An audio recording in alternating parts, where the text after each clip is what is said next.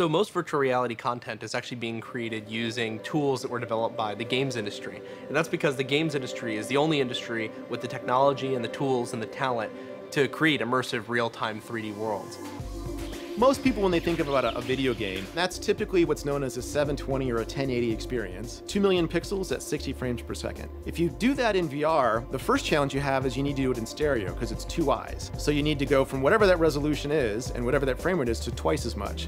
Say 120 frames per second, or 60 frames per second per eye. That's not enough. Your body is very sensitive to the visuals matching up with what's happening in your head.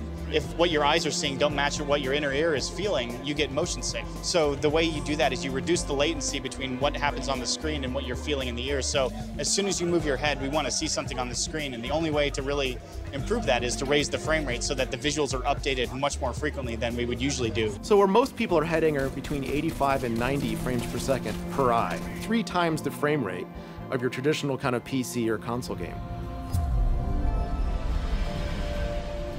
Fast material with interactivity, the ability to look around and control things, and give people the sort of feeling of being in a world that they're not. Virtual reality demands real-time graphics capability, and that's what using game engines is all about.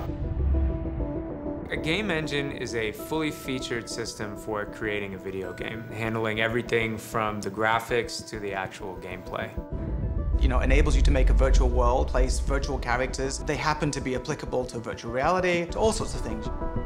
So a game engine allows people to create things that look like they're professional CG quality without actually necessarily understanding all of the underlying problems of animation, of physics, of lighting, of shadows, because they can rely on the game engine to create those uh, holistically. The tools and technology are finally getting to that point. It's really just plug and play. Making the, the Oculus work, for example, is as simple as plugging it in and going full screens you know, it just works. Yeah. What used to take a team of 100 people to actually build this content is now teams of 10, and then now we're even seeing individuals. I'll do these awesome 3D renderings in Maya or 3ds Max, and, and then it's like a minute, a second to render it out. So I don't even know how a game engine works, because we'll create it, we'll put all the stuff in there, and then we can race through, we can see it all real time. Like, where's the rendering power? How is it thinking that fast? I don't know, but they figured it out, and I'm using it many films, they actually are just manually animating the reactions of everything. They're not relying on a physics engine to take care of that necessarily. If I was making a movie and it had a car chase in it, traditionally, if it was a computer-generated car chase,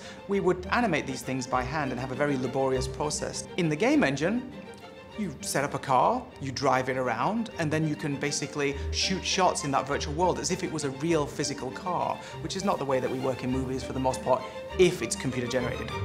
I'm more used to if I'm gonna move a tree from point A to point B, one artist does that, somebody has to adjust lighting in the scene, and then somebody presses render, and then, hey, we'll all get a chance to look at that shot in the morning. When we're building these same environments in Unreal, you move that tree around in real time, the lighting adapts, and the wind is blowing through the tree in real time the entire time you're moving it. So I think part of me feels like it shouldn't be that easy, but most of me is just very happy that it is. Game engines have really been designed almost explicitly towards virtual reality as an eventual goal. I mean, higher frame rates, better graphics, better lighting, better shadows, just to make an overall more realistic experience.